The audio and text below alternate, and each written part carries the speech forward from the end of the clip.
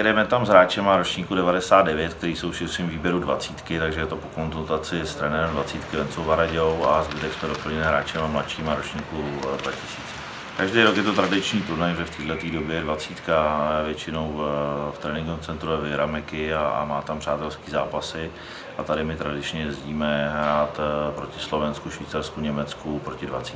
Je tady ty hráči, kteří jsou v ročníku 2000, tak jsou to všechno hráči, kteří absolvovali, myslím, že za 18 eh, v Rusku a, a zbytek, jak jsem říkal, je širší kádr 20, eh, takže samozřejmě šanci mají co očekáváme, tak je to samozřejmě začátek sezóny, takže my tam očekáváme hlavně, hlavně bojovnost, nasazení a tyhle ty věci.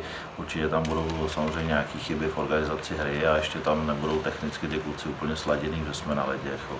Já jsem ty kluky ztratil z dohledu eh, na Dubnu a po pár měsících jsem je viděl, ale většinou ty kluci trénovali už s týmem, takže tam je vidět to určitý progres eh, silový a, a samozřejmě ty kluci, kluci stárnou, sbírají zkušenosti, takže mně přijdou, přijdou lepší. Hmm.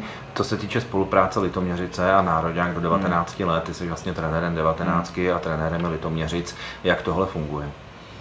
19 v současné době s Litoměřicem je velice úzce propojená, to znamená, to znamená hodně hráčů z 19 eh, hraje nebo bude hrát v Litoměřicích jako, jako mladí hráči, junioři, ale, ale tady je, je projekt Dukla, takže, takže se budeme snažit zapracovat a je to samozřejmě pomoc jak, jak mladým hráčům ročníku 2000, aby se eh, pokusili připravit na sezonu budoucí pro 20, říkám budoucí, a hráči ročníku 99, aby zkusili atakovat nominaci už v letošním roce.